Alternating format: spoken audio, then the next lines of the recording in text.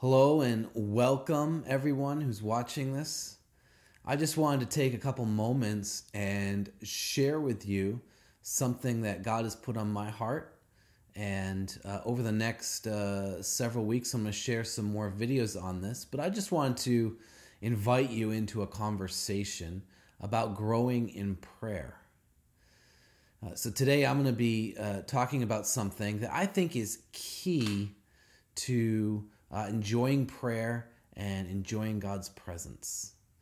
Uh, the Bible says in Romans chapter 12, verse 2, that we need to renew our mind. And when we do this, we're going to know God's good and perfect will for our lives. So, the first thing that we need to begin to renew our mind in when growing in prayer is that God desires us. Now, this is important because for many of us, we struggle to develop a prayer life uh, based on our fears and doubts of how God feels about us. And when we're not sure how the Lord uh, sees us and how he feels for us, it can really affect the way that we approach him, uh, especially in prayer. Uh, in John uh, 17 24, Jesus is praying to the Father, and he says, Father, I desire them.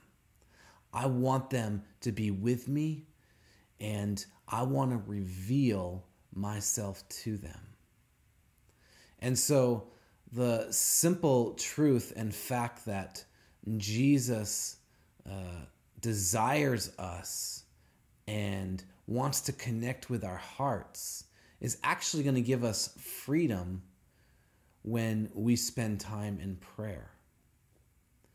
And so I just want to encourage you with that today that as you pray, take time to meditate and just remember that God desires us.